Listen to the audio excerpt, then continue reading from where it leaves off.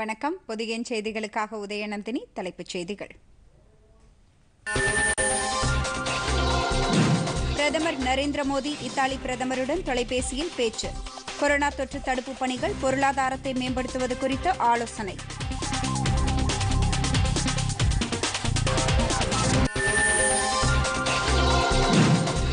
Corona ஊரடங்கால் பாதிக்கப்பட்ட இந்தியர்களை வெளிநாடுகளிலிருந்து தாயகம் அழைத்து வரும் பணிகள் தீவிரம். நூற்று எண்பத்தி இரண்டு தமிழர்கள் சென்னை வருகை.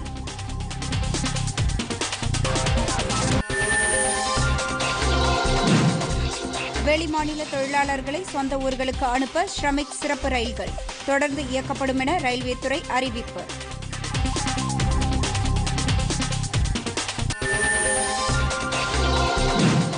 இந்தியாவில் கொரோனாவிலிருந்து குணமடைவோர் விகிதம் அதிகரிப்பு. தமிழகத்தில் பாதிக்கப்பட்டோர் எண்ணிக்கை ஆறாயிரத்தை தாண்டியது.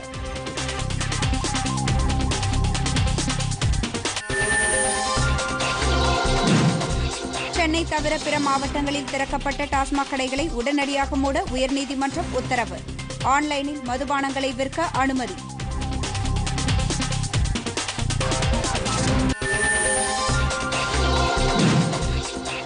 உலகளவில் தொற்றால் பாதிக்கப்பட்டோர் எண்ணிக்கை நாற்பது லட்சத்து பனிரெண்டாயிரத்தை தாண்டியது. பதிமூன்று லட்சத்திற்கும் மேற்பட்டோர் குணமடைந்துள்ளனர்.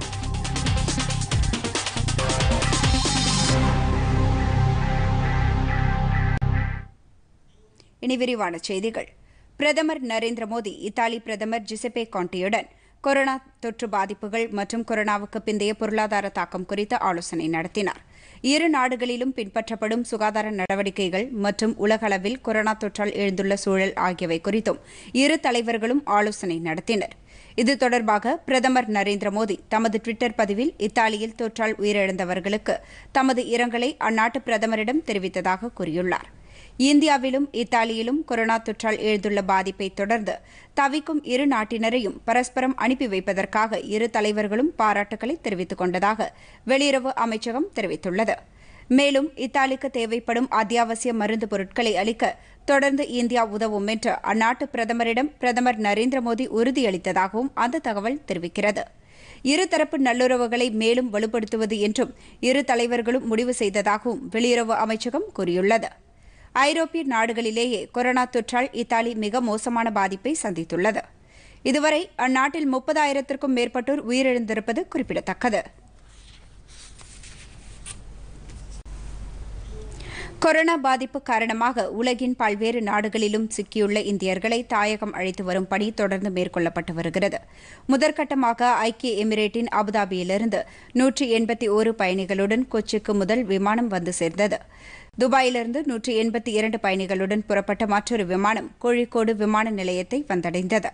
கர்ப்பிணி பெண்கள் குழந்தைகள் மற்றும் முதியோர்கள் தவிர மற்ற அனைவரும் விமான நிலையத்தில் நடத்தப்பட்ட பரிசோதனைகளுக்கு பிறகு அனுப்பி வைக்கப்பட்டனர்.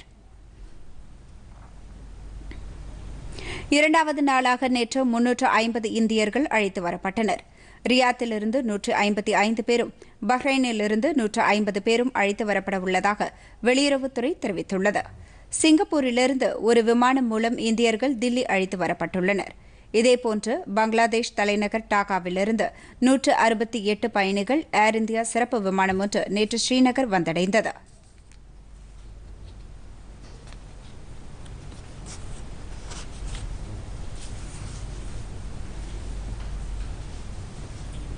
வெளிநாடுகளில் சிக்கி தவிக்கும் இந்தியர்களை கடற்படை கப்பல் மூலம் அழைத்து வரும் மத்திய அரசின் நடவடிக்கைக்கு சமுத்திர சேது என பெயரிடப்பட்டுள்ளது.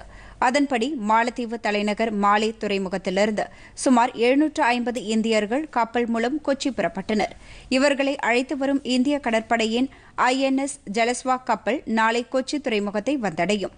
அதனைத் தொடர்ந்து ஐஎன்எஸ் மாகர் என்ற மற்றொரு கடற்படை கப்பல் மூலம் மேலும் ஆயிரம் இந்தியர்கள் ஓரிரு நாட்களில் மாலையிலிருந்து அழைத்து வரப்பட உள்ளதாக மாலையில் உள்ள இந்திய தூதரகம் தெரிவித்துள்ளது. இதன் தொடர்ச்சியாக Russia Germany Thailand France Spain உள்ளிட்ட நாடுகளிலிருந்து வரும் பதினைந்தாம் தேதி முதல் இந்தியர்களை அழைத்து வரவும் திட்டமிடப்பட்டுள்ளதாக மத்திய அரசு வட்டாரங்கள் தெரிவிக்கின்றன. இதுவரை வெளிநாடுகளிலிருந்து தாயகம் திரும்ப அறுபத்தி ஏழாயிரத்து எண்ணூற்று முப்பத்தி மூன்று பேர் விருப்பம் தெரிவித்துள்ளனர். வரும் பதினைந்தாம் தேதி வரை நாட்டின் பல்வேறு விமான நிலையங்களிலும் பனிரண்டு நாடுகளைச் சேர்ந்த பதினைந்தாயிரம் பேர் அறுபத்தி நான்கு விமானங்கள் மூலம் அழைத்து வரப்படுகின்றனர்.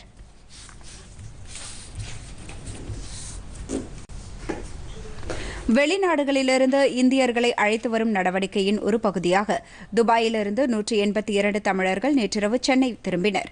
சென்னை விமான நிலையம் வந்த அவர்கள் அனைவரையும் இருபத்தி எட்டு நாட்கள் வரை தனிமைப்படுத்திக் கொள்வதற்கு மாநில சுகாதாரத்துறை அதிகாரிகள் அறிவுறுத்தியுள்ளனர். தமிழகம் திரும்புவதற்கான இணையதளம் மூலமாக ஐம்பதாயிரத்திற்கும் மேற்பட்டோர் பதிவு செய்து தாயகம் திரும்ப விருப்பம் தெரிவித்திருந்தனர். முதல் கட்டமாக இரண்டு சிறப்பு விமானங்கள் மூலம் முன்னூற்று ஐம்பத்தி ஒன்பது தமிழர்களை சென்னைக்கு அழைத்து வர முடிவு செய்யப்பட்டது. முதல் கட்டமாக நூற்று எண்பத்தி இரண்டு பேர் வந்துள்ளனர். விமான நிலையத்தில் அவர்கள் அனைவருக்கும் உடல் வெப்ப பரிசோதனை மேற்கொள்ளப்பட்டது. மேலும் சளி மற்றும் ரத்த மாதிரிகளும் எடுக்கப்பட்டு கொரோனா பரிசோதனைக்கு அனுப்பி வைக்கப்பட்டுள்ளது. அவர்கள் அனைவரும் வீடுகள் அல்லது விடுதிகளில் தனிமைப்படுத்திக் கொள்ள உத்தரவிடப்பட்டுள்ளது. விடுதிகளில் அதற்கான கட்டணத்தை பயணிகளை செலுத்த வேண்டும். தனிமைப்படுத்திக் கொள்வதற்கான விதிமுறைகளையும் சுகாதாரத்துறை அதிகாரிகள் எடுத்துரைத்தனர். கொரோனா பரிசோதனை முடிவுகள் வெளியானதும் நோய் தொற்று உறுதி செய்யப்பட்டவர்கள் மட்டும் மருத்துவமனைகளில் சிகிச்சைக்காக அனுப்பி வைக்கப்படுவார்கள் என்று சுகாதாரத்துறையினர் தெரிவித்தனர்.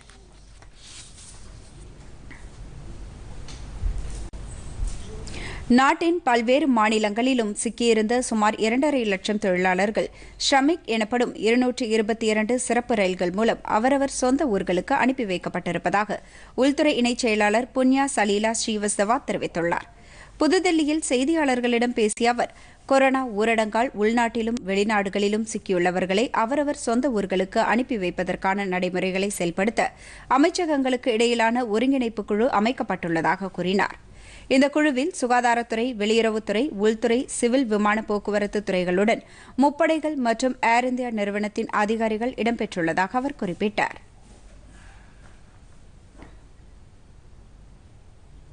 இதற்கிடையே ஆயிரத்து நூறு பயணிகளுடன் புதுதில்லியிலிருந்து புறப்பட்ட ஒரு சிறப்பு ரயில் மத்திய பிரதேச மாநிலம் பண்டேல்கண்ட் மாவட்டத்திற்கு உட்பட்ட சத்தார்பூர் ரயில் நிலையத்தை வந்தடைந்தது.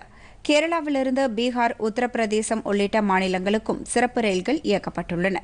தமிழகத்தின் காட்பாடியிலிருந்தும் ஒரு சிறப்பு ரயில் ஜார்க்கண்ட் மாநிலத்திற்கு இயக்கப்பட்டது குறிப்பிடத்தக்கது.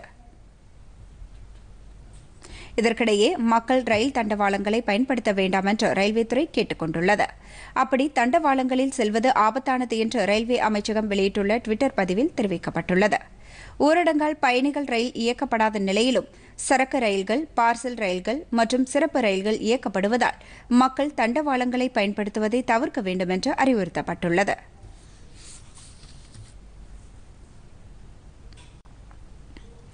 கொரோனா தொற்று தடுப்பு நடவடிக்கையில் மத்திய ஆயுத காவல் படையினரின் சிறப்பான படைகளுக்கு உள்துறை அமைச்சர் அமித்ஷா பாராட்டு தெரிவித்துள்ளார்.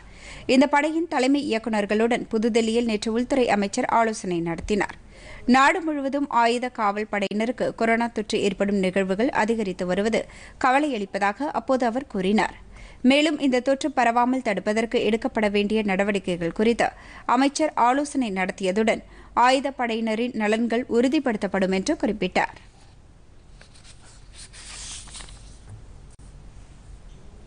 விசாகப்பட்டினம் அருகே நச்சுவாயு கசிவு ஏற்பட்டதை தொடர்ந்து நேற்று இரண்டாவது நாளாக அந்த பகுதியில் உள்ள நிலைமை குறித்து தேசிய பேரிடர் மேலாண்மை குழுவின் தலைவரும் மத்திய அமைச்சரவை செயலாளருமான ராஜீவ் கௌபா உயரதிகாரிகளுடன் ஆலோசனை நடத்தினார். அப்போது சம்பவ இடத்தில் ஏற்பட்டுள்ள முன்னேற்றம் மற்றும் மீட்பு நடவடிக்கைகள் குறித்தும் அந்த பகுதியில் உள்ள மக்கள் அப்புறப்படுத்தப்பட்ட நிகழ்வு குறித்தும் ஆந்திர தலைமைச் செயலாளர் அமைச்சரவை செயலாளரிடம் விரிவான விளக்கமளித்தார். அந்த தொழிற்சாலையிலிருந்து மேலும் வாயு கசிவு ஏற்படாமல் இருக்க எடுக்கப்பட்ட முன்னெச்சரிக்கை நடவடிக்கைகள் குறித்தும் அந்த பகுதியில் உள்ள தண்ணீர் மற்றும் காற்றின் தரம் குறித்தும் இந்த ஆலோசனையின் போது விரிவாக விவாதிக்கப்பட்டது. மீட்புப் பணிகள் மற்றும் மத்திய அரசின் உதவிகள் குறித்தும் விரிவாக ஆய்வு செய்யப்பட்டதாக மத்திய அரசு தகவல்கள் தெரிவிக்கின்றன.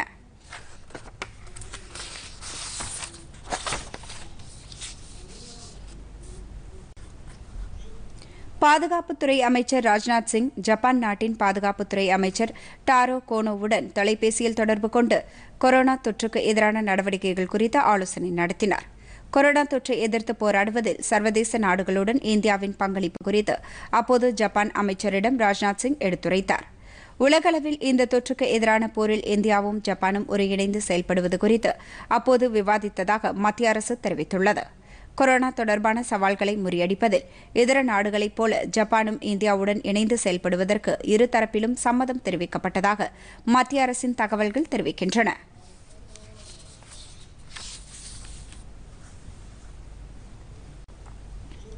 கொரோனா தொற்று முடிவுக்கு வந்த பின்னர் இந்தியாவின் சுகாதார கட்டமைப்பு மிகப்பெரிய ஊக்கத்தை அடையும் என்று பிரதமர் அலுவலக இணையமைச்சர் ஜிதேந்திர சிங் தெரிவித்துள்ளார். நாட்டின் முக்கிய மருத்துவ ஆராய்ச்சி நிறுவனங்களின் நிபுணர்கள் மருத்துவர்கள் உள்ளிட்டோருடன் அவர் நேற்று காணொலி காட்சி மூலம் ஆலோசனை நடத்தினார். தொற்று பரவல் கண்காணிப்பை தீவிரப்படுத்துவதுடன் கொரோனா தொற்றின் தன்மைக்கேற்ப பாதிப்புகளை கண்டறிந்து தேவையான முயற்சிகளை சம்பந்தப்பட்ட துறையினர் மேற்கொள்ள வேண்டும் என்று ஜிதேந்திர சிங் அறிவுறுத்தினார். இந்தியாவில் சுகாதாரத்துறைக்கு அதிக முன்னுரிமை அளிக்கப்படும் என்றும் நாட்டின் பொருளாதாரத்தில் சுகாதாரத்துறை முக்கிய பங்களிப்பை ஏற்படுத்தும் என்றும் அவர் குறிப்பிட்டார். பிரதமரின் கரீப் கல்யாண் அன்ன யோஜனா திட்டத்தின் கீழ் நாடு முழுவதும் எண்பது கோடி மக்களுக்கு இலவச உணவு தானியங்கள் மற்றும் பருப்பு வகைகள் வழங்கப்பட்டு வருவதாக மத்திய உணவு மற்றும் பொது விநியோகத்துறை அமைச்சர் ராம்விலாஸ் பாஸ்வான் தெரிவித்துள்ளார். அனைத்து மாநிலங்களுக்கும் இந்த திட்டத்தின் கீழ் தேவைப்படும் உணவு தானியங்களை தயார் நிலையில் வைத்திருப்பதை உறுதி செய்வதற்கான நடவடிக்கைகளை அரசு மேற்கொண்டிருப்பதாக புதுதில்லியில் அமைச்சர் கூறினார்.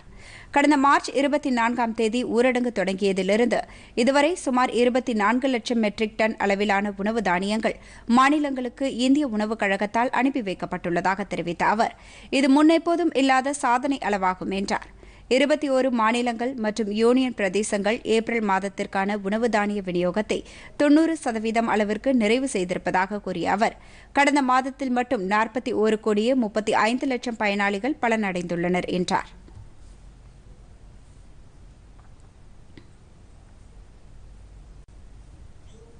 இந்தியாவில் கொரோனா தொற்றால் பாதிக்கப்பட்டு குணமடைவோர் விகிதம் முப்பது சதவீதமாக அதிகரித்துள்ளது. இதுவரை பதினாறாயிரத்து ஐநூற்று நாற்பது பேர் குணமடைந்திருப்பதாக மத்திய சுகாதாரத்துறை தெரிவித்துள்ளது.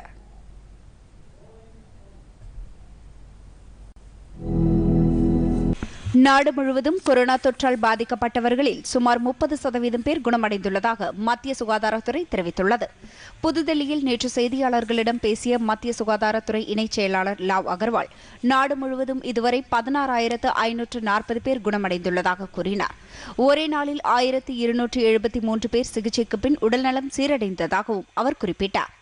இருநூற்று பதினாறு மாவட்டங்களில் இதுவரை தொற்று பாதிப்பு ஏதும் இல்லை என்றும் நாற்பத்தி இரண்டு மாவட்டங்களில் கடந்த இருபத்தி எட்டு நாட்களாகவும் இருபத்தி ஒன்பது மாவட்டங்களில் கடந்த இருபத்தி ஒரு நாட்களிலும் புதிதாக தொற்று ஏற்படவில்லை என்றும் அவர் தெரிவித்தார். நாடு முழுவதும் கொரோனா தொற்றால் பாதிக்கப்பட்டோரின் மொத்த எண்ணிக்கை ஐம்பத்தி ஆறாயிரத்து முன்னூற்று நாற்பத்தி இரண்டாகவும் உயிரிழந்தோர் எண்ணிக்கை ஆயிரத்து எண்ணூற்று எண்பத்தி ஆறாக உயர்ந்துள்ளது என்றும் தெரிவித்தார்.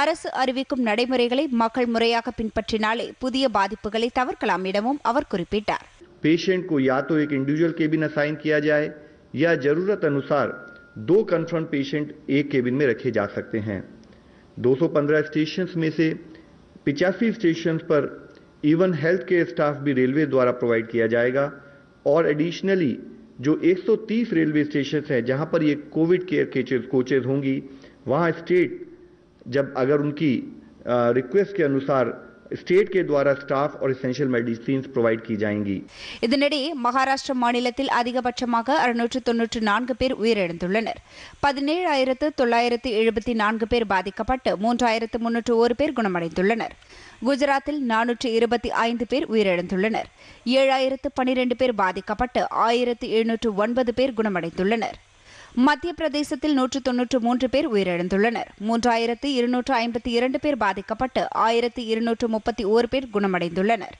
ராஜஸ்தானில் தொன்னூற்றி ஏழு பேர் உயிரிழந்துள்ளனர். மூன்றாயிரத்து நானூற்று இருபத்தி ஏழு பேர் பாதிக்கப்பட்டு ஆயிரத்து ஐநூற்று தொன்னூற்று ஆறு பேர் குணமடைந்துள்ளனர். மேற்கு வங்கத்தில் நூற்று ஐம்பத்தி ஒரு பேர் உயிரிழந்துள்ளனர். ஆயிரத்து ஐநூற்று நாற்பத்தி எட்டு பேர் பாதிக்கப்பட்டு முன்னூற்று அறுபத்தி நான்கு பேர் குணமடைந்துள்ளனர். தில்லியில் அறுபத்தி ஆறு பேர் உயிரிழந்துள்ளனர். ஐந்தாயிரத்து தொள்ளாயிரத்து எண்பது பேர் பாதிக்கப்பட்டு ஆயிரத்து தொள்ளாயிரத்து முப்பத்தி ஓரு பேர் குணமடைந்துள்ளனர். சென்னையை அடுத்த திருமழிசையில் தற்காலிக மொத்த காய்கறி சந்தை அமையவுள்ள இடத்தில் நடைபெறும் பணிகளை முதலமைச்சர் எடப்பாடி பழனிசாமியும் துணை முதலமைச்சர் ஓ பன்னீர்செல்வமும் இன்று நேரில் ஆய்வு செய்ய உள்ளனர். மாலை நான்கு முப்பது மணியளவில் அந்த பகுதியில் அவர்கள் ஆய்வு மேற்கொள்ள இருப்பதாக தமிழக அரசின் செய்திக்குறிப்பு தெரிவிக்கிறது. முன்னதாக கோயம்பேடு மொத்த விற்பனை காய்கறி சந்தைக்கு பதிலாக புதிதாக திருமிழிசையில் தற்காலிக காய்கறி சந்தை அமைக்கப்பட்டு வருவது குறித்து முதலமைச்சர் எடப்பாடி பழனிசாமி நேற்று தலைமைச் செயலகத்தில் அதிகாரிகளுடன் ஆலோசனை நடத்தினார். தலைமைச் செயலாளர் சண்முகம் காவல்துறை தலைமை இயக்குநர் திரிபாதி வீட்டு வசதி மற்றும் நகர்ப்புற வளர்ச்சித்துறை செயலாளர் ராஜேஷ் லக்கானி சென்னை பெருநகர வளர்ச்சிக் குழுமத்தின் தலைவர் கார்த்திகேயன் மற்றும் அரசுத்துறை உயர் அதிகாரிகள் கலந்து கொண்டனர்.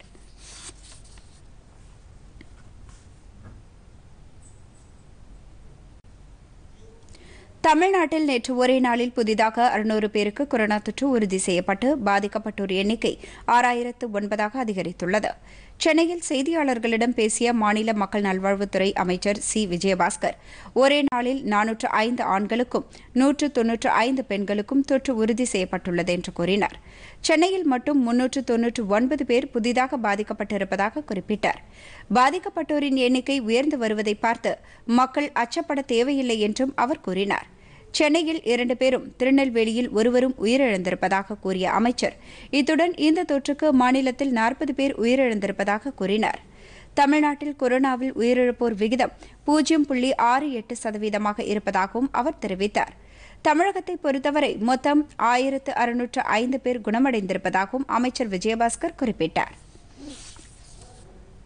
அதாவது ஒருங்கிணைந்த ஒரு உயர்தர சிகிச்சையை வந்து ஒரு புறம் வந்து சிம்டமேட்டிக் ட்ரீட்மெண்ட் ஒரு புறம் இந்திய மருத்துவம் அப்புறம் வந்து ப்ராப்பர் டயட்டு ப்ரிஸ்கிரைப் டயட்டு அப்படி காம்ப்ரிஹென்சிவ் ட்ரீட்மெண்ட் ஒருங்கிணைந்த ஒரு சிகிச்சையை கொடுக்கறதுனால இந்த புள்ளி ஆறு எட்டு சதவீதம் மார்டாலிட்டி ரேட்டை நம்ம மெயின்டைன் பண்ணுறோம் அது வந்து அரசு மற்றும் தனியார் மருத்துவமனைகளுக்கும் இந்த புரோட்டோக்காலை வந்து நம்ம வந்து ப்ராப்பராக அவங்ககிட்ட சொல்லிகிட்டு இருக்கிறோம்.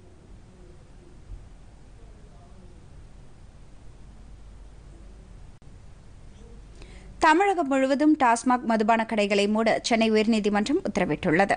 இது தொடர்பான வழக்கில் உயர்நீதிமன்றம் ஏற்கனவே பிறப்பித்த உத்தரவுகள் பின்பற்றப்படவில்லை என்று கூறி புதிதாக தொடரப்பட்ட வழக்கை விசாரித்த உயர்நீதிமன்றம் ஊரடங்கு முடிவடையும் வரை ஆன்லைன் மூலம் மட்டும் மதுபானங்களை விற்பனை செய்ய அனுமதி அளித்துள்ளது. கொரோனா பாதிப்பு காரணமாக நாடு முழுவதும் மூன்றாம் கட்டமாக ஊரடங்கு கடைபிடிக்கப்பட்டு வரும் நிலையில் அதிலிருந்து தளர்வளிக்கப்பட்டு சென்னை தவிர மாநிலத்தின் பிற பகுதிகளில் நேற்று முன்தினம் முதல் டாஸ்மாக் கடைகள் திறக்கப்பட்டன.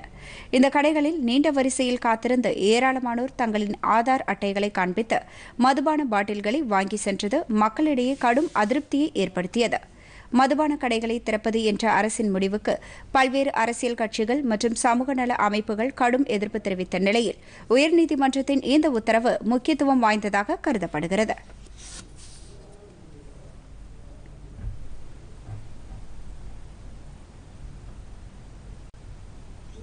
தமிழகத்தில் ஊரடங்கு காலத்தில் டாஸ்மாக் மதுபான கடைகளை திறக்கக்கூடாது என்ற சென்னை உயர்நீதிமன்றத்தின் உத்தரவை திமுக தலைவர் மு க ஸ்டாலின் வரவேற்றுள்ளார்.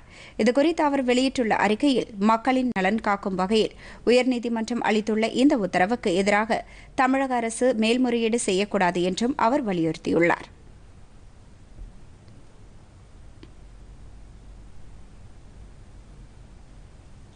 இதேபோல் தமிழ்நாடு காங்கிரஸ் கமிட்டி தலைவர் கே எஸ் அழகிரியும் சென்னை உயர்நீதிமன்றத்தின் தீர்ப்பை வரவேற்றுள்ளார். இதுகுறித்து அவர் வெளியிட்டுள்ள அறிக்கையில் சென்னை உயர்நீதிமன்றத்தின் தீர்ப்பை ஏற்று மதுபான கடைகளை தமிழக அரசு நிரந்தரமாக மூட வேண்டும் என்று கேட்டுக் கொள்வதாக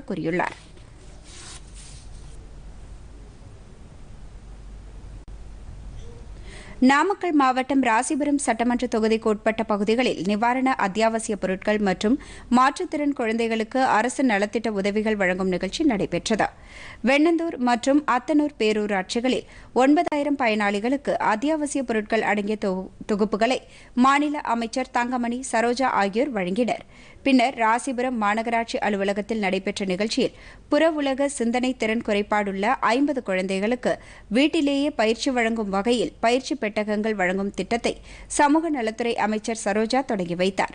அப்போது பேசிய அவர் தமிழகத்தில் ஊரடங்கு காரணமாக பத்தொன்பது மாவட்டங்களைச் சேர்ந்த சிந்தனை திறன் குறைபாடுகள் உள்ள குழந்தைகளுக்கு வீட்டிலேயே பயிற்சி வழங்கும் வகையில் ஐந்து லட்சம் ரூபாய் நிதி ஒதுக்கப்பட்டுள்ளதாக தெரிவித்தார்.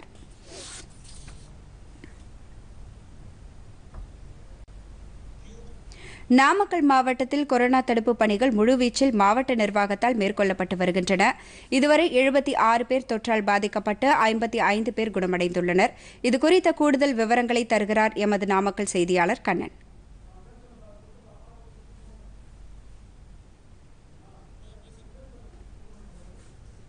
வணக்கம் உதயநந்தினி. நாமக்கல் மாவட்டத்தில் பார்த்தீங்க அப்படின்னா நாமக்கல் மாவட்டத்தில் கொரோனா தடுப்பு பணிகள் முழுவீச்சில் நடந்துகிட்டு இருக்கு. முக்கியமா இந்த மாவட்டத்துல பாத்தீங்க அப்படின்னா கோழிப்பண்ணை லாரி தொழில் இது போன்ற நிறைய தொழில் நிறைந்த ஒரு மாவட்டம் அப்படிங்கிறதுனால எல்லா இடங்கள்லயும் தொற்று பரவாம இருக்கிறதுக்காக மாவட்ட நிர்வாகம் பல்வேறு நடவடிக்கைகள் எடுத்துட்டு இருக்காங்க. இதுவரைக்கும் நாமக்கல் மாவட்டத்துல பாத்தீங்க அப்படின்னா எழுபத்தி ஆறு பேர் வந்து இந்த கொரோனாவால பாதிக்கப்பட்டிருக்காங்க. இதுல ஐம்பத்தி ஐந்து பேர் வந்து குணமடைந்து அவங்க அவங்க வீட்டுக்கு போயிட்டாங்க. மீதி இருபத்தி ஒரு பேர் வந்து சிகிச்சை எடுத்துக்கிட்டு இருக்காங்க. அந்த இருபத்தி ஒரு பேர்ல பதினான்கு பேர் நாமக்கல் அரசு மருத்துவக் கல்லூரி மருத்துவமனையிலும் ஆறு பேர் கரூர் அரசு மருத்துவக் கல்லூரி மருத்துவமனையிலும் ஒருவர் லாரி ஓட்டுநர் ஒருவர் திருநெல்வேலி அரசு மருத்துவமனையிலும் மருத்துவக் கல்லூரி மருத்துவமனையிலும் கொரோனாவுக்கான சிகிச்சை எடுத்துட்டு இருக்காங்க. இது வந்து இப்ப சமூக தொற்றா பரவக்கூடாது அப்படிங்கிறதுக்காக இருபத்தி ரெண்டு இடங்கள்ல வந்து அந்த நோய் தடுப்பு மண்டலங்களா வந்து அதை அறிவிச்சு அந்த இடத்த முழுவதும் சுகாதாரத்துறையினரும் காவல்துறையினரும் தொடர்ந்து கண்காணிச்சிட்டு இருக்காங்க. அது மட்டும் இல்லாம அந்த மண்டலத்துக்கு சிறப்பு அலுவலர்கள் திரு முனிநாதன் மற்றும் ஒரு ஐபிஎஸ் அதிகாரி போன்றவர்கள் வந்து அங்க நியமிக்கப்பட்டு தொடர்ந்து அவங்க அந்த பகுதியை வந்து பார்த்துட்டு இருக்காங்க. பொதுமக்கள் எல்லா இட நேரங்கள்லயும் போகக்கூடாது அப்படிங்கிறதுனால மா- வாரத்துல இரண்டு நாட்கள் மட்டுமே அவங்க வெளியே போய் வர்றதுக்காக பச்சை நீளம் சிவப்பு போன்ற மூன்று வண்ண அட்டைகள் வந்து பொதுமக்களுக்கு வழங்கப்பட்டிருக்கு. திங்கள் வியாழன் பச்சை நிற அட்டை வைத்தவர்களும் செவ்வாய் வெள்ளி போன்ற நாள் நீல நிற அட்டை வைத்திருப்பவர்களும் புதன் மற்றும் சனிக்கிழமை ஆகிய நாட்களில் சிவப்பு வண்ண அட்டை வைத்திருப்பவர்களும் வெளியே சென்று அந்த குறிப்பிட்ட நேரத்தில் மட்டுமே பொருட்களை வாங்கி வர மாவட்ட நிர்வாகம் ஏற்பாடு செய்திருக்கிறது. அது மட்டும் இல்லாம இந்த மாவட்டத்துல ஏற்கனவே நம்ம 76 பேர் பாதிக்கப்பட்டாங்கன்னு சொன்னோம் இல்லைங்களா? இதுல அவங்களோட தொடர்புல இருந்து அறுநூத்தி பத்து பேர் வந்து அவங்கவுங்க வீடுகள்ல வந்து தனிமைப்படுத்தப்பட்டிருக்காங்க. இதை சுகாதாரத்துறை அலுவலர்கள் அவ்வப்போது கண்காணிச்சிட்டு இருக்காங்க இருபத்தி ஆறு பேர் வந்து அரசு மருத்துவமனை கண்காணிப்புல இருக்கிறாங்க இது தொடர்ந்து பாத்தீங்க அப்படின்னா ஒரு மாதத்துக்கு மேலாக இந்த தொற்று தடுப்பு பணிகள் இருக்கிறதுனால வெளிநாட்டில இருந்து விமானங்கள் இயக்கப்படல. அதனால நாமக்கல் மாவட்டத்திற்கு வெளிநாட்டில இருந்து வந்தவர்கள் ஏற்கனவே வந்தவர்கள் வந்து எல்லாமே அந்த தனிமைப்படுத்தப்பட்ட காலம் நிறைவடைந்ததுனால அவங்க இதுவரைக்கும் எந்த பாதிப்பும் இல்ல. வெளி மாநிலத்திலிருந்து வந்தவங்க அப்படின்னு பாத்தீங்கன்னா ஆயிரத்தி இருநூத்தி எண்பத்தி ஒன்பது பேர் வந்து வந்திருக்காங்க. அவங்களையும் வந்து வீட்டு குவாரண்டைன்ல வீட்டு தனிமைப்படுத்தல வந்து மாவட்ட நிர்வாகம் வைத்திருக்கு. ஐயாயிரத்தி முந்நூறு பேருக்கு வந்து பரிசோதனை செஞ்சிருக்காங்க. சோதனை சாவடிகள்னு பாத்தீங்க அப்படின்னா பதினான்கு இடங்கள்ல வந்து நாமக்கல் மாவட்டத்தில் சோதனை சாவடிகள் அமைக்கப்பட்டு இந்த இடங்கள் எல்லாம் காவல்துறை ஸ்கவுட் மற்றும் சுகாதாரத்துறையினர் ஒருங்கிணைந்து லாரிகள் மற்றும் வெளிமாநில செல்லும் லாரிகள் எல்லாம் கண்காணிச்சு ஓட்டுநர்கள் உதவியாளர்களுடைய உடல் தகவல்களுக்கு நன்றி அதே தமிழகத்திலிருந்து நுழைவுத் தேர்வு பயிற்சிக்காக ராஜஸ்தான் மாநிலம் சென்ற மாணவர்கள் பெற்றோர்கள் ஆகியோர் கிருஷ்ணகிரி மாவட்டம் அத்திப்பள்ளிக்கு வந்தடைந்தனர். அவர்களை ஓசூர் சார் ஆட்சியர் குமரேசன் வரவேற்று அவர்களுடைய ஊர்களுக்கு மருத்துவ பரிசோதனைக்காக அனுப்பி வைத்தார். மதுரை கோவை சென்னை வேலூர் உள்ளிட்ட மாவட்டங்களைச் சேர்ந்த மாணவர்கள் அறுபது பேர் ராஜஸ்தான் மாநிலம் கோட்டா பகுதியில் ஜேஇஇ நுழைவுத் தேர்வு பயிற்சிக்காக ஓராண்டாக தங்கியிருந்தனர். அவர்களுடன் பெற்றோர்கள் சிலரும் தங்கியிருந்தனர். இந்நிலையில் அவர்கள் தங்கியிருந்த பகுதி சிவப்பு மண்டலமாக அறிவிக்கப்பட்டதை அடுத்து ராஜஸ்தான் அரசு அனைவரையும் தமிழகம் செல்லுமாறு கேட்டுக் கொண்டது இதையடுத்து மூன்று பேருந்துகளில் மாணவர்கள் உள்ளிட்டோர் ஆத்திப்பள்ளிக்கு வந்தடைந்தனர். பின்னர் அவர்களுக்கு உடல் வெப்பநிலை பரிசோதனை மேற்கொள்ளப்பட்டது.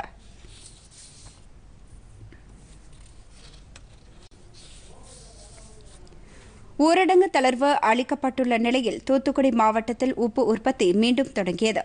கிருமி நாசினி தயாரிக்க பயன்படுத்தும் உப்பின் தேவை அதிகரித்துள்ளதால் பணிகள் முழுவீச்சில் நடைபெற்று வருகிறது. இதுபற்றி ஒரு செய்தி தொகுப்பு. உடலுக்கு உயிர் போன்று உணவுக்கு உப்பு உப்பில்லா பண்டம் குப்பையிலே என்று சும்மாவா சொன்னார்கள். செல்வந்தர் வீட்டினது செருக்கான உணவில் மட்டுமல்லாது அரைவயிற்று கஞ்சியை காய்ச்சி குடிக்கும் அன்றாட காட்சிகள் உணவிலும் முதன்மை பெறுவது உப்பல்லவா? காந்தியடிகளின் உப்பு சத்தியாகிரக போராட்டத்திலிருந்தே உப்பிற்கும் நமக்கும் உன்னத பந்தம் தொடர்கிறது. பாறை உப்பு கருப்பு உப்பு என பல வகை உப்பு இருந்தாலும் பல கோடி மக்களின் பசியை தீர்க்கும் உணவில் சேரும் உப்பை அள்ளித் தருபவன் கடல் தாயே. அந்த கடல் தாய் பறந்து விரிந்துள்ள பங்கரான தூத்துக்குடி உப்பு உற்பளவில் முதலிடமும் இந்திய அளவில் இரண்டாயிரமும் பெற்று விளங்குகிறது. கொரோனா நோய் தொற்று பரவலை தடுக்க ஊரடங்கு உள்ளபோதும் அத்தியாவசிய பணிகள் என்ற அடிப்படையில் விலக்கு அளிக்கப்பட்டதால் வேலையை பெற்றுள்ளார்கள் உப்பள தொழிலாளர்கள். தூத்துக்குடி மாவட்டம் வேம்பார் முதல் திருச்செந்தூர் வரை சுமார் இருபத்தி இரண்டாயிரம் ஏக்கர் பரப்பளவில் உப்பளங்கள் உள்ளன.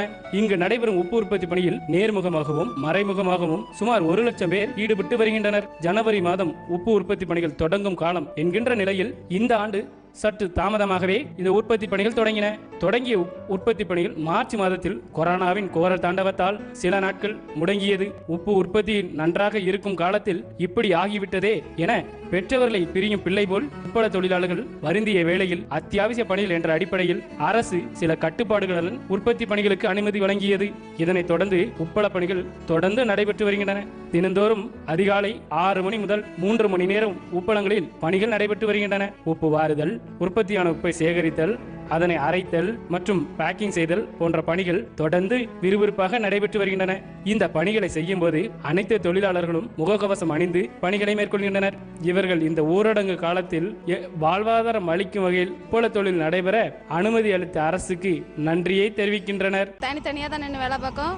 கவர்மெண்ட் சொன்ன ரூல்ஸ் படியே நாங்கள் வேலை பார்க்கோம் அதனால் எங்களுக்கு எந்த பிரச்சனையும் இல்லை. கவர்மெண்ட்டுக்கு ரொம்ப நன்றி. அரசாங்கத்துலேயும் நீங்கள் தனித்தனியாக நின்று வேலை பார்க்கலாமா? நீங்கள் ஒன்றா மொத்தமாக நிற்கக்கூடாது மொத்தமாக ஒரு இடத்துல உட்காரக்கூடாது நீங்கள் மாசு கட்டி தனித்தனியாக நின்று வேலையை பாருங்கன்னு சொல்லியிருக்காங்க. தற்போது குஜராத்தில் இருந்து இங்கு உப்பு வராததாலும் கொரோனா நோய் கிருமி ஒழிப்பு ரசாயனங்கள் தயாரிப்பதற்காக உப்பின் தேவை அதிக அளவில் உள்ளதாலும் உப்புகள் நல்ல விலைக்கு விற்கப்படுவதாக உற்பத்தியாளர்கள் தெரிவிக்கின்றனர். பாதிப்புக்கு முன்னால் டன் சுமார் ஆயிரத்தி ஐநூறு வரை போய் கொண்டிருந்தது இப்போது ரெண்டாயிரம் ரூபாய்க்கு மேலே அதிகமாகவே விற்பனையாகிறது. அது மட்டுமல்ல உப்புக்கு வாண்டட் ரொம்ப அதிகமாக இருக்குது பொதிகை செய்திகளுக்காக தூத்துக்குடியிலிருந்து ஏ லக்ஷ்மணன். சர்வதேச அளவில் கோவிட் 19 தொற்றால் பாதிக்கப்பட்டோரின் எண்ணிக்கை நாற்பது லட்சத்து பனிரெண்டாயிரத்தை தாண்டியது. அதில் பதிமூன்று லட்சத்து எண்பத்தி ஐந்தாயிரம் பேர் குணமடைந்துள்ளனர். இரண்டு லட்சத்து எழுபத்தி ஆறாயிரத்திற்கும் மேற்பட்டோர் உயிரிழந்தனர்.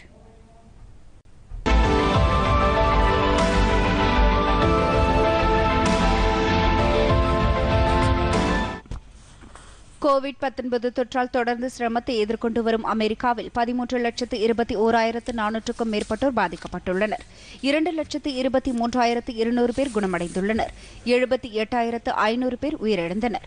இங்கிலாந்தில் இரண்டு லட்சத்து பதினோராயிரத்து முன்னூறு பேர் பாதிக்கப்பட்டுள்ளனர். முப்பத்தி ஓராயிரத்து இருநூற்றுக்கும் மேற்பட்டோர் உயிரிழந்தனர். இத்தாலியில் இரண்டு லட்சத்து பதினேழாயிரத்து நூறு பேர் பாதிக்கப்பட்டு தொன்னூற்று ஒன்பதாயிரத்திற்கும் மேற்பட்டோர் குணமடைந்துள்ளனர். உயிரிழப்பு எண்ணிக்கை முப்பதாயிரத்து இருநூறை தாண்டிவிட்டது. ஸ்பெயின் பிரான்ஸ் நாடுகளில் உயிரிழப்பு எண்ணிக்கை இருபத்தி ஆறாயிரத்து இருநூறை தாண்டியது. பாகிஸ்தானில் ஐநூற்று தொன்னூற்று ஒன்பது பேரும் பங்களாதேஷில் இருநூற்று ஆறு பேரும் ஆப்கானிஸ்தானில் நூற்று ஒன்பது பேரும் இலங்கையில் ஒன்பது பேரும் இதுவரை உயிரிழந்ததாக தகவல்கள் தெரிவிக்கின்றன. இனி தொடர்வது நாளிதழ்களில் இன்று.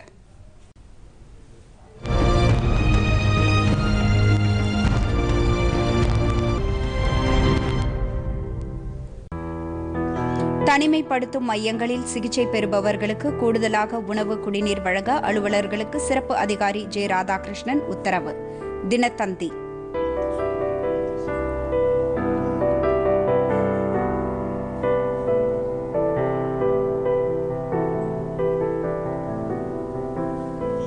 மாநில அரசுகளுக்கு உரிய அதிகாரங்கள் வழங்க வேண்டும். பிரதமருக்கு காங்கிரஸ் கட்சி முன்னாள் தலைவர் ராகுல் காந்தி வலியுறுத்தல். தினமணி.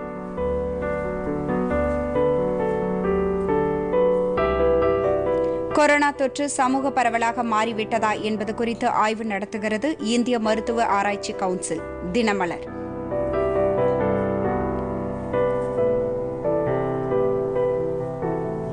வரைவு மின்சார சட்ட திருத்தம் அமலுக்கு வராத வகையில் தமிழக அரசு அனைத்து நடவடிக்கைகளையும் மேற்கொள்ளும். தமிழக மின்துறை அமைச்சர் தங்கமணி அறிவிப்பு. தினகரன். காது கேளாத மாற்றுத்திறனாளிகளுக்கு புதிய வகை முகக்கவசம். திருச்சியை சேர்ந்த மருத்துவர் வடிவமைப்பு. இந்து தமிழ் திசை.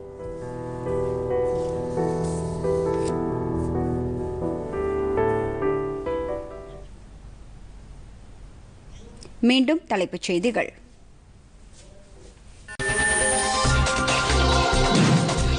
பிரதமர் நரேந்திர மோடி இத்தாலி பிரதமருடன் தொலைபேசியில் பேச்சு. கொரோனா தொற்று தடுப்பு பணிகள் பொருளாதாரத்தை மேம்படுத்துவது குறித்து ஆலோசனை.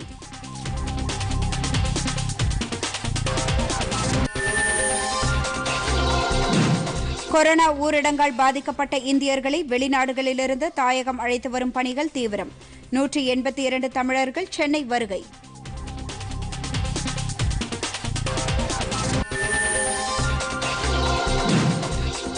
வெளிமாநில தொழிலாளர்களை சொந்த ஊர்களுக்கு அனுப்ப ஸ்ரமிக் சிறப்பு ரயில்கள் தொடர்ந்து இயக்கப்படும் என ரயில்வே துறை அறிவிப்பு.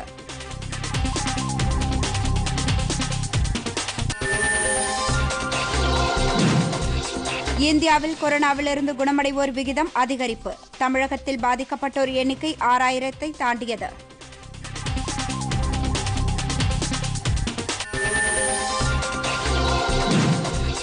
சென்னை தவிர பிற மாவட்டங்களில் திறக்கப்பட்ட டாஸ்மாக் கடைகளை உடனடியாக மூட உயர்நீதிமன்றம் உத்தரவு.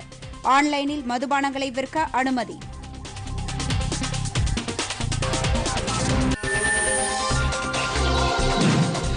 உலகளவில் தொற்றால் பாதிக்கப்பட்டோர் எண்ணிக்கை நாற்பது லட்சத்து பனிரெண்டாயிரத்தை தாண்டியது. பதிமூன்று லட்சத்திற்கும் மேற்பட்டோர் குணமடைந்துள்ளனர்.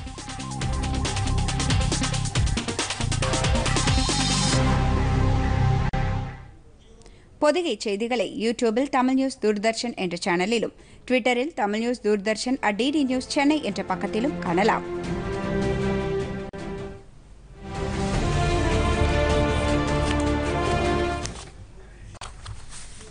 இத்துடன் இந்த செய்தி அறிக்கை நிறைவு பெறுகிறது. மீண்டும் செய்திகள் காலை பதினோரு மணிக்கு. வணக்கம்.